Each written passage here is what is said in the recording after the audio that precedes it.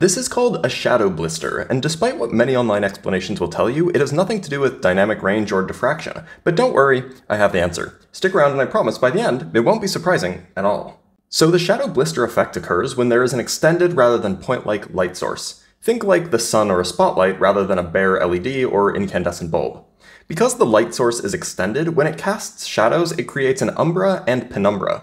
The umbra is the dark part of the shadow, and the penumbra is the fuzzy, less dark part of the shadow.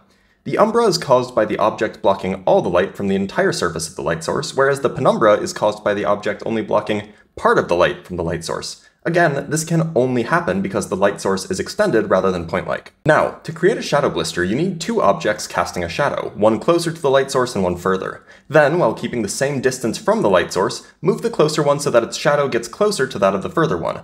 This will make the umbra of the further one grow while its penumbra shrinks. Let me show you an example on a simulator. So here we have two objects with an extended light source up above.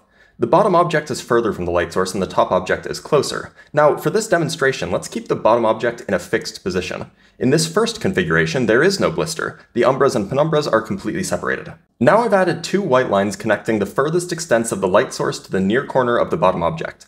Notice that the line connecting the left edge of the source to the left edge of the bottom object forms the line that marks the edge of the umbra, and the line connecting the right edge of the source marks the penumbra.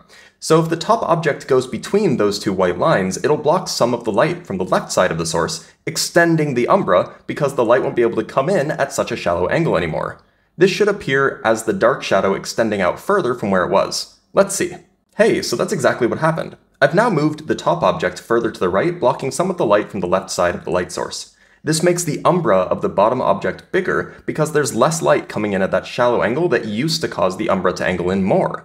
Notice how the umbra, the dark shadow, of the bottom object is now between the two white lines rather than aligning with the rightmost edge of the line connecting from the left of the source? That's the blister effect. The umbra of the object further from the light source grew. And notice that the umbra of the closer object didn't really change at all. Unfortunately, to properly see the bulging effect requires three dimensions rather than just two dimensions, because you need two-dimensional shadows rather than one-dimensional shadows. Here's a lovely animation from Wikipedia showing it from a few different angles. Notice how the umbra of the green rectangle overtakes the penumbra while the umbra of the blue rectangle doesn't change at all. And here's another gif of the same effect, this time with a ball and a rectangle. That wasn't so hard, was it?